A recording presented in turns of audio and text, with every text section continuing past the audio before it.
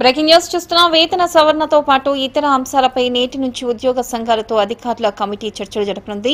ఇక ఉద్యోగ సంఘాల ప్రతినిధులతో సీఎస్ సోమేష్ కుమార్ అధ్యక్షతన ముఖ్య కార్యదర్శులు రామకృష్ణారావు రజత్ కుమార్లతో గల త్రిసభ్య కమిటీ చర్చలు నిర్వహించనుంది.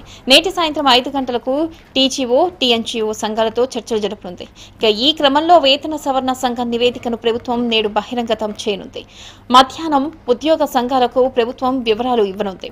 మూల వేతనంపై ఏడు పాయింట్ ఐదు శాతం ఫిట్మెంట్ ఇవ్వాలని పీఆర్సీ నివేదికలో పేర్కొంది. ఉద్యోగుల కనీస వేతనం పంతొమ్మిది వేల రూపాయలు ఉండాలని సిఫార్సు చేసింది. గరిష్ట వేతనం ఒక లక్ష అరవై రెండు వేల డెబ్బై రూపాయల వరకు ఉండొచ్చని సిఫార్సు చేసింది. ఉద్యోగుల పదవి విరమణ వయసు అరవై ఏళ్ళకు పెంచాలని హెచ్ఆర్ఏ తగ్గిస్తూ సిఫార్సు చేసింది. గ్రాట్యుటీ పరిమితి పన్నెండు లక్షల నుంచి పదహారు లక్షలకు పెంచింది.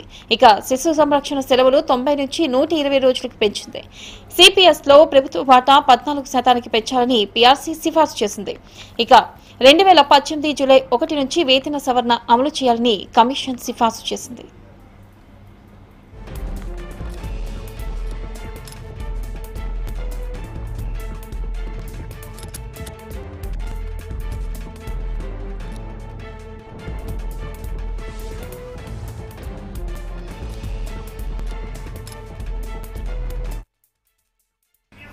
ఇక దీనిపై మరింత సమాచారాన్ని మా ప్రతినిధి సూర్యప్రకాష్ అందిస్తారు. సూర్యప్రకాష్ చెప్పండి.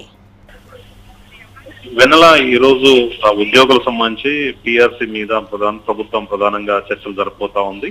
ఇప్పటికే వేతన సవరణ సంఘం ఇటీవల తెలంగాణ ప్రభుత్వానికి అందించినటువంటి నివేదిక కూడా మనం చూడవచ్చు.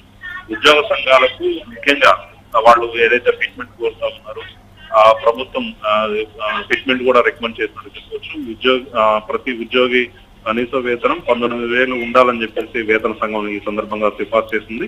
అదేవిధంగా మూల వేతనం మీద ఏడు పాయింట్ ఐదు శాతం ఫిట్మెంట్ కూడా ఇవ్వాలని చెప్పేసి టీఆర్సీ తన నివేదికలో పొందుకొచ్చినట్టు చెప్పవచ్చు మరోవైపు ఉద్యోగుల పదమీ విరమణ వయసు కూడా అరవై ఏళ్ళకు పెంచాలని చెప్పేసి సూచన చేసింది.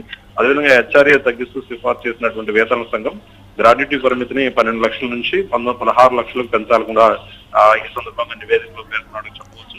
కాబట్టి రెండు వేల పద్దెనిమిది జూలై ఒకటి నుంచి వేతన సంబంధించినటువంటి అమలుకు ఈ కమిషన్ సిఫార్సు చేసింది. ఈ రోజు ఉద్యోగ సంఘాలతో సిఎస్ సోమేష్ కుమార్ సిఎస్ సోమేష్ కుమార్ అదేవిధంగా ఉద్యోగ సంఘం నేతలతోని ఆ నివేదిక మీద అంటే వేతన సవరణ సంఘం ఇచ్చినటువంటి నివేదిక మీద ప్రధానంగా చర్చించి ఆ సీఎం కి ఒక నివేదిక అందజేయనున్నట్టుగా చెప్పవచ్చు రైట్ సూర్యప్రకాష్ థ్యాంక్ యూ